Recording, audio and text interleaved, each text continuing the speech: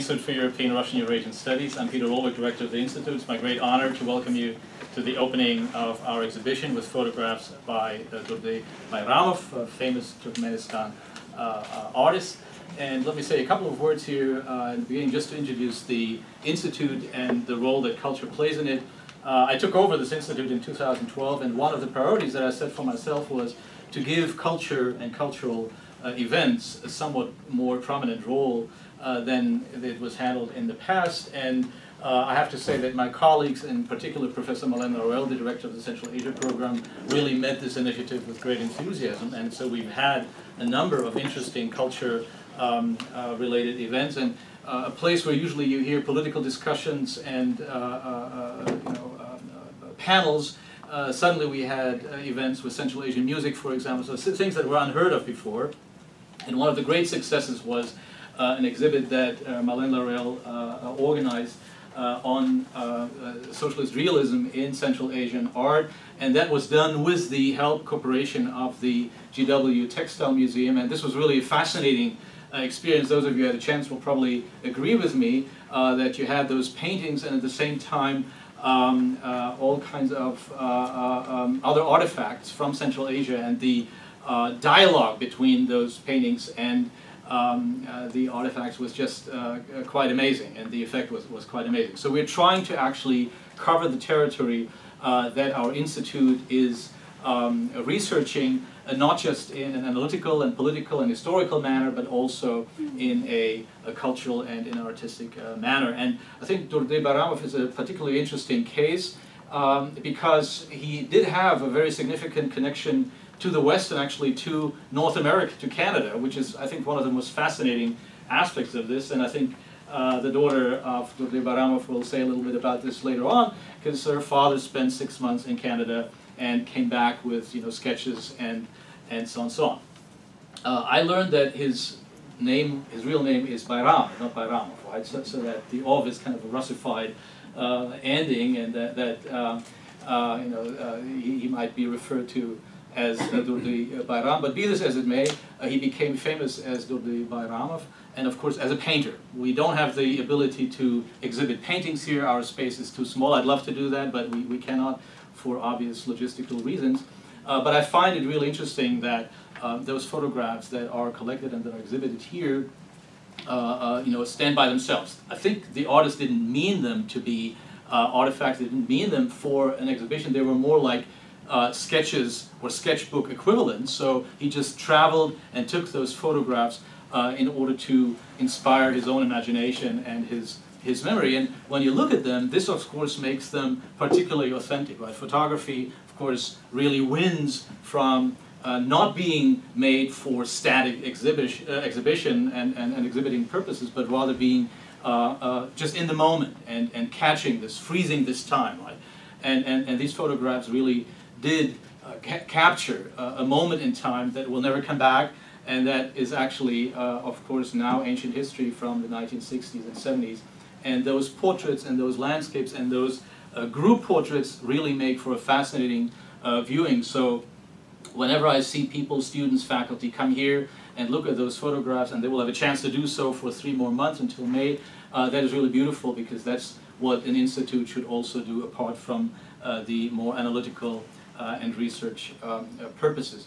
Uh, what I also learned is that I looked uh, up uh, some of the paintings uh, online because there's quite a bit, there are quite a few resources uh, there um, that, uh, you know, the forte were landscapes and portraits and you have a similar interest that you can see also here on the, in the photographic work of um, Durdy um, Bayramov, a real honored, famous artist now and um, after his passing in 2014, a foundation um, is taking care of his legacy and the visibility of it is actually growing um, by the year. So again, it's my honor to welcome you to this exhibition, to the opening of the, this exhibition, and I'd like to pass the floor now to His Excellency Meret Orazov, the Ambassador of Turkmenistan in uh, the United States, to also say a few opening words. So welcome, Mr. Ambassador. ladies and gentlemen, uh, it's nice to be uh, here and uh, good afternoon. Uh, it is with great pleasure that I support uh, the opening of the travel exhibition through the eyes of Durdy Bayramov, Turkmen Village Alive, across the educational institutions of Canada, United States, and uh, the rest of the world. I am happy to support the inter introduction of Durdy Bayramov's heritage and the legacy. I would like to thank our generous hosts. Thank you very much. Um, uh, the uh, GW Central Asia Program for hosting and launching this travel exhibition and supporting the promotion of Turkmen culture and art. Without a doubt, Durdy Bayramov is one of the most iconic figures in the history of Turkmen culture and art. I personally had the privilege of meeting academician Bayramov, who struck me as a humble and kind man. Bayramov was a nationally known artist and achieved some of the highest and most prestigious accolades for an artist in Turkmenistan during his life. Uh, we are grateful to have Dr. Bayramov's works, uh, works in all of the main museums in uh, the capital city of Ashgabat in Turkmenistan. His arts will be enjoyed by generations of Turkmens to come. Durdy Bayramov made a significant impact on the art education and the culture of Turkmenistan. He represented our country well at numerous international events, and his paintings were uh, always held in high regard not only in our home country but also abroad. Well-known museum, uh, museums, Old Master Picture Gallery in Dresden, Germany, and State Tretyakov Gallery in Moscow, Russia, acquired his paintings because of his extraordinary talent. In addition to painting, Bayramov spent a considerable part of his artistic career engaged in photography. He became interested in photography during the 1960s. The present exhibition introduces a previously unknown area of Bayramov's artworks. These historic photographs, photographs uh, share a rare historic glimpse into the daily lives, customs, and culture of some Turkmen villagers during that period. However, it is important to understand that even in the 60s, the general nature of Turkmen uh, rural, um, rural uh, areas was very diverse. There was a powerful process of agricultural industrialization, which finally brought Turkmenistan to the second place as the cotton producers in the former Soviet Union. Unfortunately, this industrialization, combined with communistic ideology, was not very sensitive to the culture, cultural heritage of nations, including, of course, Turkmen uh, traditions. From this point of view, Bayramov's work is unique. Through the photographs, he brought well-documented important elements of lifestyle and culture of our nation to the future generations of Turkmen people. Since then, Turkmenistan has undergone significant changes, economic growth and transformation, but the key trait of these photographs, from the point of view of lifestyle, remains the same. And it is a powerful sense of the universal condition of love, family values, warmth, and appreciation for Turkmenistan cultural heritage. Now I would like to say a few words uh, about current priorities of Turkmenistan. First of all, we are amid presidential elections to be held on February 12th. This election will be held under uh, the umbrella of a new constitution of the country, which was adopted in September 2016. Besides routine government work, in January, President Berdimuhamedov announced three main priorities. The first one, in September 2017, we will have Asian Games. It's a big event for us, and uh, if somebody would be able to come, we would be very glad to see you as a guest for this event. Turkmenistan second. Turkmenistan will be the chair in Energy Forum for uh, 2017. This is an international organization with headquarters in Brussels with 57 countries members. And you know that for Turkmenistan, energy policy also is very important part of our activities. The third one is about ecology. Turkmenistan will be the chair in Asia, uh, in Aral Sea, a multi-government council uh, for three years, starting from this year. Uh, this council, you, you maybe know, combined with all Central Asia countries, and uh, we care about and think about how to protect Aral Sea, and uh, plus all surrounding problems about environment and ecology. And as usual, Turkmenistan will also pay special attention to cultural cooperation between countries. Particularly, this year, this year, we will be trying to organize cultural days of Turkmenistan in the US with support of Mr. Paul Taylor. and uh, to conclude my remarks, I would like to congratulate the Bayramov Foundation for their important work. Primarily, the foundation was created with the goal of introducing life and works of Dr. Bayramov to the broader world. Now that it has grown significantly, I see the foundation is embracing an idea of promoting Turkmen culture in various ways, and it is a wonderful approach. I wish the foundation a long and successful lifespan. Thank you.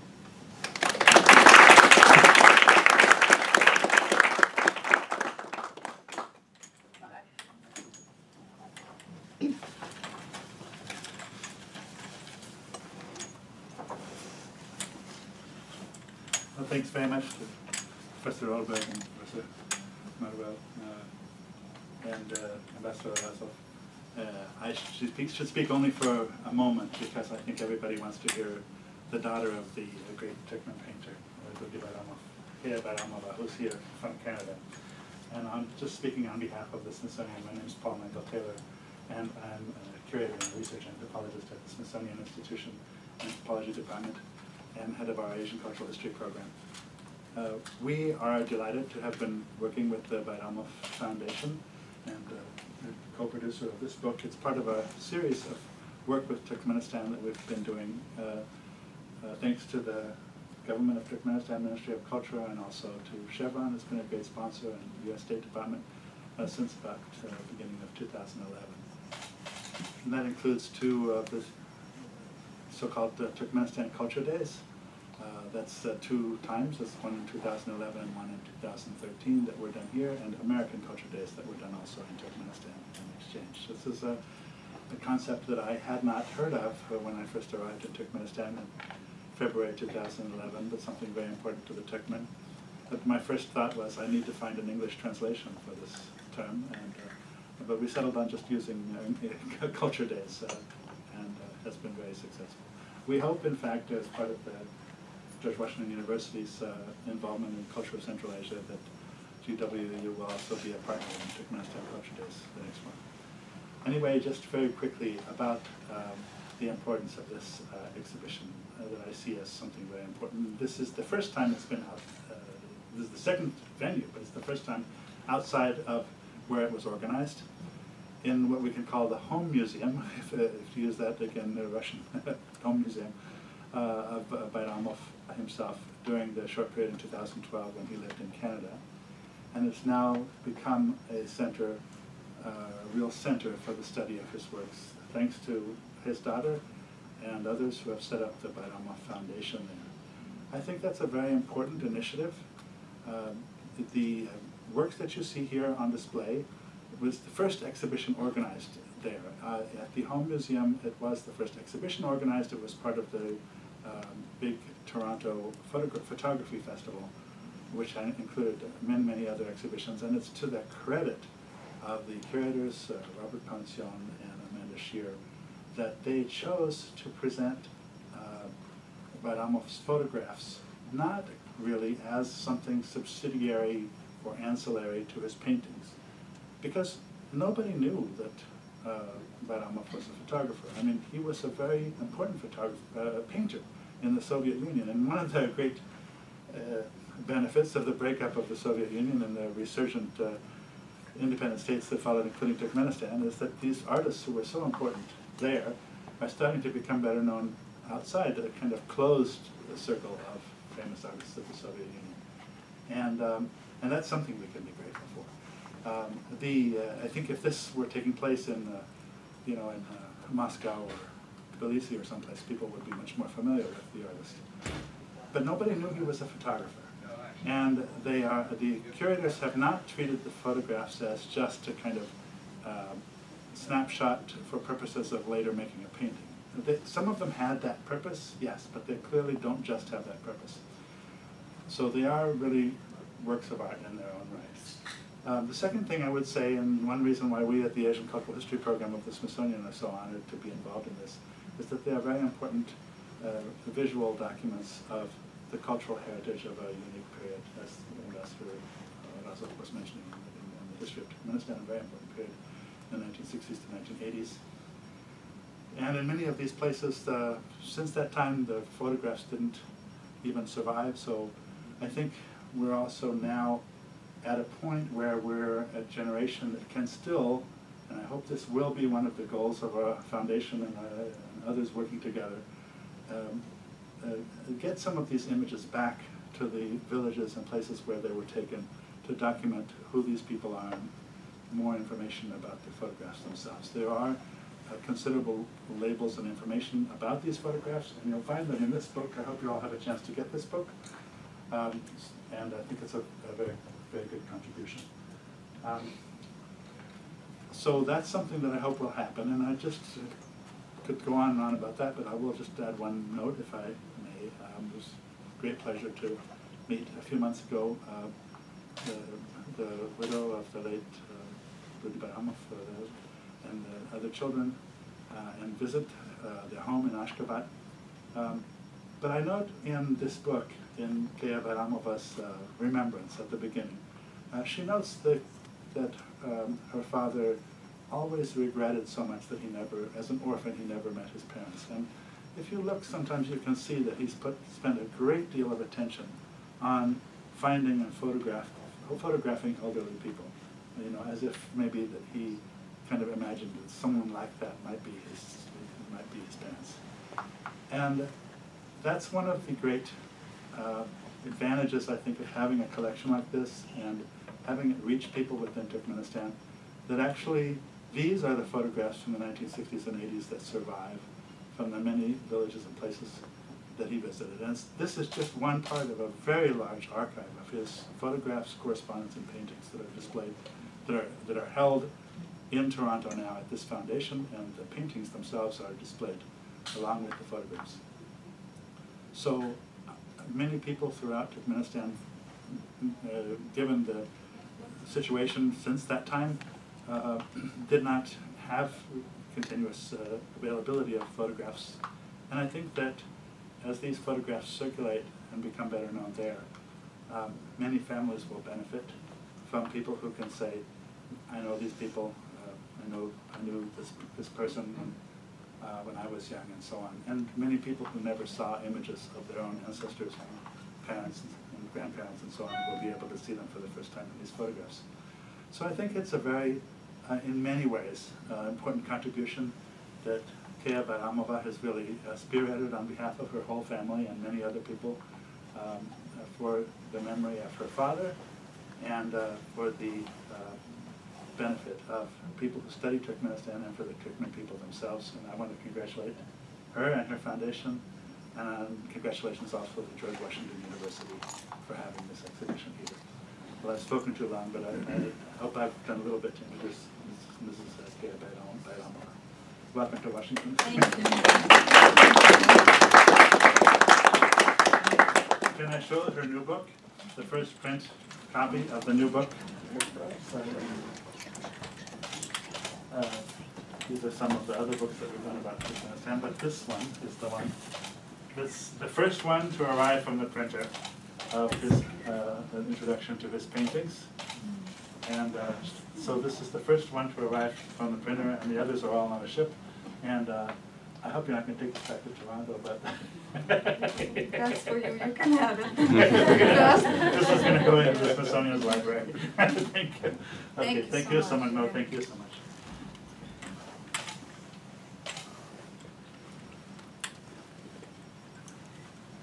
Okay, honestly, you know, whatever I had in my speech is already said. so, but uh, anyhow, I'll read my speech and then I'll add it. Okay. So, um, Honorable Ambassador Aranza and the Barisona, thank you very much. Uh, Mr. Paul Taylor and uh, George Washington University, thank you for hosting this exhibition. So, this exhibition is um, celebration of my father's life. sorry. This exhibition is a celebration of my father's legacy and his love to art.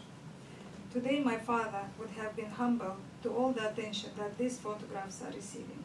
It makes me sad that he could not he could not be here with us today. These photographs are testament to his unique eye and artistic versatility. To a lot of people, Durdy Bayramov was a talented artist, but to me he was my dad and my best friend.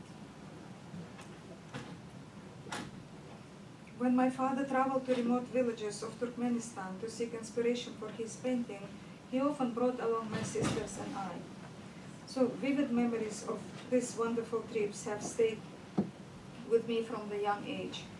My mind traveled back in time when these photographs were taken. And the people and villages since come alive for me. Many of them I know myself, so I can show you also around and tell you which one I know and and we actually found many people who is still alive from these photographs. Yeah. Today especially, I want to share something that I think is important for everyone to know. As you walk through the corridor and take notice of the portraits, as uh, Paul Taylor said already, I want to tell you that my father was particularly interesting to photograph older people and the reason why is because he was always looking for his mom and dad. So I found the notes um, in his diary, which says, every time I look or photograph or paint uh, elderly people, I always think one of them could be my mom or my dad.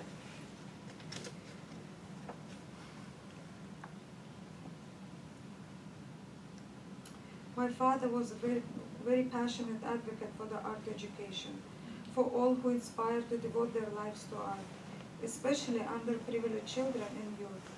He loves teaching art and often brought art supplies for those students who could not afford to pay for them. To continue his legacy, my family and I have established the Durdy Bayramov Art Foundation in Toronto, a non-profit organization dedicated to celebrating the life and legacy of Durdy Bayramov through educational programs which foster cultural exchange and stimulate the vitality of the arts. It is my sincere hope that in the near future, the Foundation will partner with many more academic institutions, such as George Washington University, and continue to introduce these photographs to students and faculty alike. So I want to tell you a little bit about how we established the foundation. In 2012, my dad, he came and visit, uh, visit my family in Toronto and stayed with me for six months. And so we, we visit many museums and one day my dad, he said, it will be wonderful to have one exhibition here in Canada. After my dad passed away, which is, uh, th this month is very special for me because uh, it will be three years since he passed away and it's 14th of uh, February, which is a Valentine's. It's a beautiful day, and uh, so when I came back after he passed away, so something was bothering me, and I said, okay, I have to fulfill his wish. I went to the few galleries and I asked, okay, I would like to make an exhibition, but something that, you know, people, they said, okay, you have to sell, you know, there's, uh, the, the commercial value. So I say, I'm not selling the painting, what should I do? So there is no, still, you know, it, it's been a month now since I came back and I cannot organize anything. So it's just one day, I told to my husband, okay, so what should we do? And we decided to empty the house where he lived for six months, and we did the exhibition there. With the great help, neighbors, friends, it was really successful. So in um, within three weeks, we got more than uh, 700 people visited, and uh, we was published in the main uh, newspaper in Toronto.